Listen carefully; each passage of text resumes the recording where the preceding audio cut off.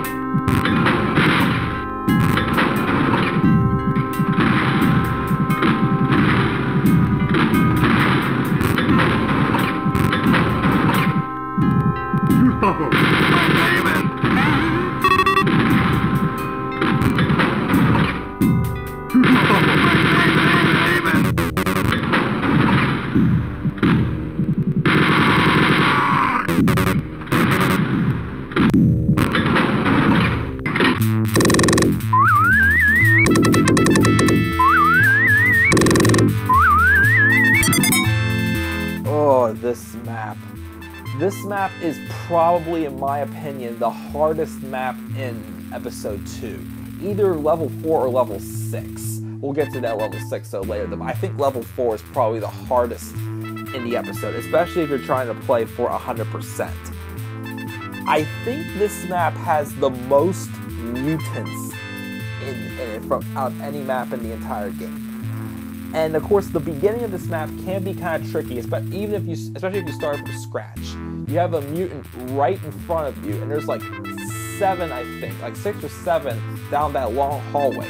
You do have those three brown guards in the one alcove, though, right out of the, the start. And then also, what can be hard about this map also is how many secret areas there are. I think there is seven when I checked in the map editor. I think there's seven secrets in this map. And they're all kind of tricky to find. And some of them are even inside those pointless long rooms that are added on behind some of the secret areas. And then another really hard part, which I think this is ingenious though, is the the like booby trap they have for the silver key. You saw there was just one brown guard there. You shoot off your gun. You think that no one else is in the room and then you go grab the key, and then you see the three doors on each side of you open up, and here comes 12 mutants coming out after you. a pretty ingenious booby trap, and I think it was well played on my part.